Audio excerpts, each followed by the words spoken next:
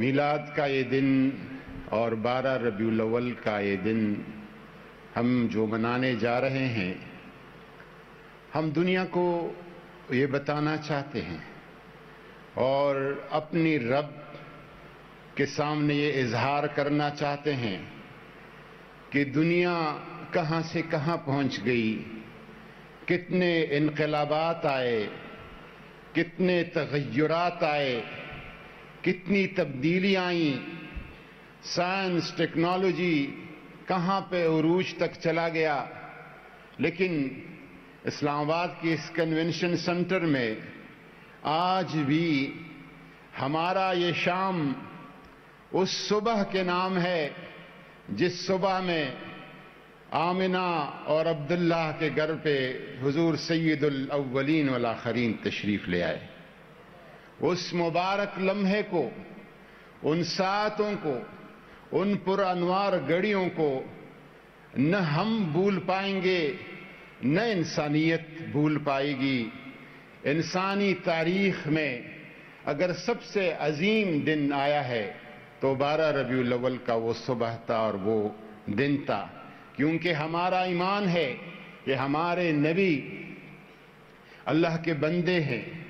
और अल्लाह के रसूल हैं।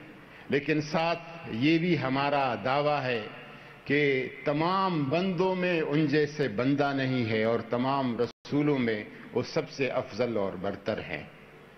और रसूलों की सदारत और इमामत हुजूर सैदुल अव्वलीन वल आखिरीन के सर ये ताज है। आज का इंसानियत की जितनी अजमतें हैं उस अजमतों की, बुलंदियों की रिफ़तों की इंतहा, वहाँ से हुजूर नबी करीम वसल्लम की इब्तदा हो जाती है।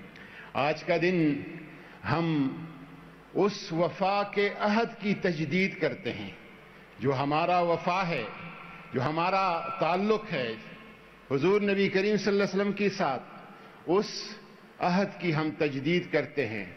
और जब डॉक्टर मोहम्मद इकबाल फरमाते हैं कि की मोहम्मद से वफा तूने तो हम तेरे हैं। वो अल्लाह की ज़ुबान बोलते कि अल्लाह ताला कहता है, की मोहम्मद से, मेरे बंदे, की मोहम्मद से वफा तूने तो हम तेरे हैं। अल्लाह फिर आपका है। ये जहाँ चीज़ है क्या, लोह कलम तेरे हैं। प्राइम मिनिस्टर साहब, आपने इस कौम को जो डायरेक्शन दी है, हुकूमत में आती ही रियासत मदीना का, और अब जिस तरह आप इस तरफ़ जा रहे हैं कि इस कौम की फिक्री इसलाह हो और इनका किबला मदीना मुनव्वरा, इनकी रूह मदीना मुनव्वरा की तरफ़ हो मुतवजह हो। ये जो आपकी कोशिश है। डॉक्टर अल्लामा मोहम्मद इकबाल ने वो इस कौम के मुसविर है और मैमार हैं। उन्होंने शैतानी फलसफा की और शैतानी तकरीब का एक ज़िक्र किया है। और उसमें उन्होंने कहा है कि शैतान का ख्याल है, शैतानी फलसफा है, शैतानी सोच है कि ये मुसलमान फाके तो करता है, भूख तो बर्दाश्त करता है, सर तो काट लेता है। लेकिन इसमें एक चीज़ है, वो चीज़ इनसे निकाल दे तो फिर ये किसी काम का नहीं है। वो कहते हैं, ये फाककश मुसलमान को कहता है, ये फाककश जो मौत से डरता नहीं जरा। इसका इलाज क्या है? इसको कैसे खराब करना है?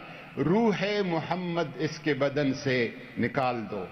हुजूर वसल्लम की जो मोहब्बत है, आपके साथ जो नस्बत है, वो नस्बत और मोहब्बत निकाल दो। फिर इसमें कुछ भी नहीं रह जाएगा। मैं मिस्टर साहब, मैं आपकी इस कोशिशों को हम सीरत नबी का ज़िक्र करते हैं और हम नमाज़ का भी ज़िक्र करते हैं, रोज़े का, हज का, जक़ात का। और ये दिन की अरकान है, इसकी अलग अहमियत है। नमाज़ मोमिन का मेराज है, लेकिन नमाज़ तो नबूवत और बैसत हुजूर वसल्लम के 40 साल बाद फ़र्ज़ हुई। रोजा उसके बाद, हज उसके बाद, जक़ात उसके बाद, जो हुजूर वसल्लम के साथ बचपन से जो चीज़ चली आ रही थी, वो थी सदाकत और अमानत। सादिक अमीन, हम नमाज़, रोजा, हज, जक़ात पे तो फोकस करते हैं, लेकिन सदाकत व अमानत हम कहीं स्केप कर जाते हैं। हम जुब्बा, मैं खुद साहिब दस्तार हूँ, दाढ़ी रखता हूँ। हम जुब्बा, दस्तार और दाढ़ी पर तो फोकस करते हैं, और ये भी हुजूर वसल्लम का लिबास है, मुझे इस पर फख्र है।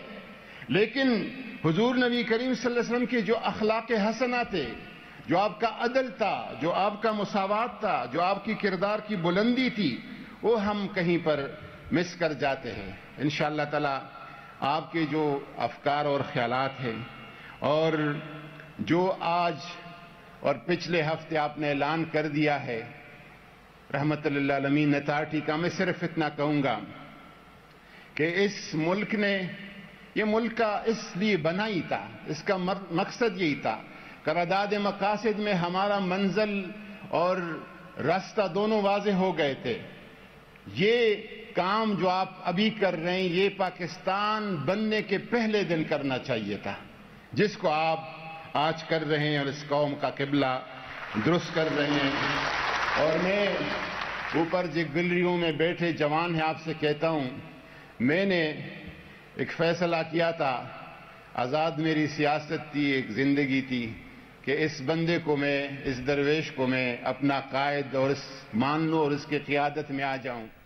आज विफाक वज़ीर नूर कादरी इस्लामाबाद में कौमी रहमत आलमीन कॉन्फ्रेंस से खिताब कर रहे हैं।